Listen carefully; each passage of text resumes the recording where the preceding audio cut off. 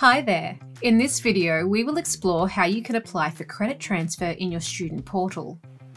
Go to the Forms tile icon and click to view a larger list of available forms, including the Application for Credit Transfer form. Select the Fill Out button to create your credit transfer application. A list of instructions is shown at the top of the form that detail the process and requirements for evidence for credit transfer applications with TAFE Queensland. It is important that you read the instructions shown at the top of the form. Please also note that you will need to provide documentation that supports your application. Select the checkbox to confirm that you have read and understand how we will verify your results. If you notice that any of your personal or contact details shown on the form have changed, please go to your My Details tile to update them before you submit your application. Next, select the course your credit transfers apply to and the location of your prior study. Scroll to your unit selection. Click the arrow next to the unit or units you want on your credit transfer application. You can indicate if all the units you wanted appeared on the list. Choose either yes or no.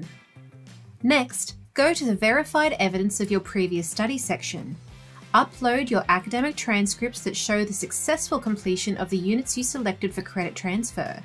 You can drag and drop evidence that is already saved to your computer here, or use the Add button.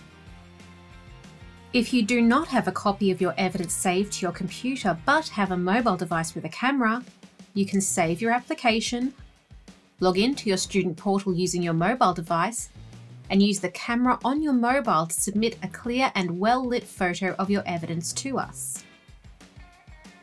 Complete the Student Authorization section.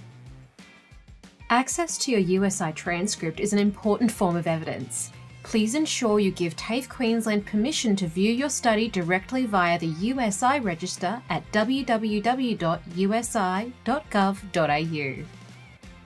Note, you can save your form for later without submitting by using the More button. When your application is ready, select the Submit button at the bottom left of the screen. Once submitted, your application for credit transfer will be reviewed and processed by TAFE Queensland staff.